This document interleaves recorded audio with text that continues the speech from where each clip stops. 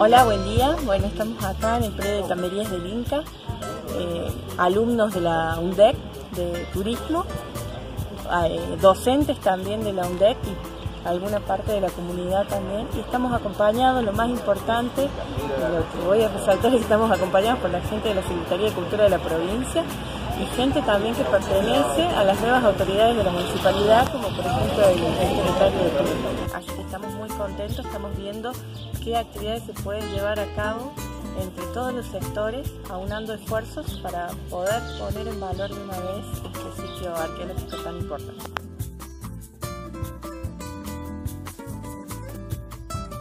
La parte histórica de Tambería es eh, su relevancia tiene que ver que fue una ciudad austral del imperio incaico hacia el Collasuyo, ¿no? Y en su momento, cuando vino el ingeniero Gres Levin a hacer el relevamiento, medía 16 hectáreas de extensión del sitio. Es importante porque estaba muy cerca también de las, del Famatina, un cerro sagrado. En sus dos cumbres tienen santuarios de altura construidos por los incas. Se sabe que los incas hacían también en las cumbres de montañosas una ceremonia ritual muy importante que era la capacocha. Todo esto tiene que ver con la importancia de Tambería, del Inca, que fue entonces, como decía, una pequeña capital del imperio en tierras del Collasuyo.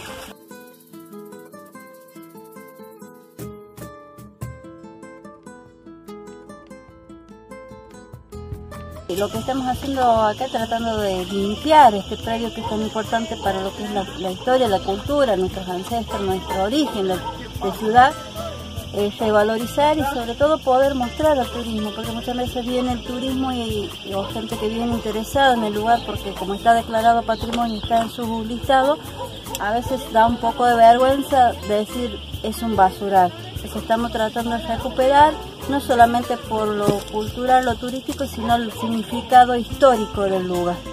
Es un poco eh, comprometernos y defender este lugar que es eh, el principio de la ciudad. Buen día, soy Matías Vaca, soy bachiller universitario en Geología por la Universidad de Córdoba.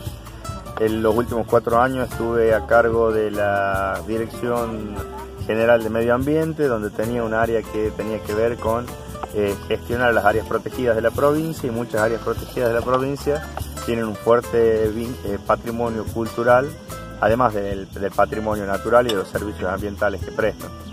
Así que estamos buscando darle una impronta a la gestión que tenga que ver con la puesta en valor del patrimonio natural y cultural, tangible y intangible. Es por eso que desde que nos enteramos de la, de la movida, que es todo mérito de, de, los vecinos y de ustedes, digamos, eh, quisimos participar, quisimos despolitizarla y bueno, más que nada para ponernos a disposición y para elaborar con ustedes un plan de acción concreto de pequeñas cosas pero sostenidas en el tiempo que puedan ser un punto de inflexión ante esta realidad. ¿no?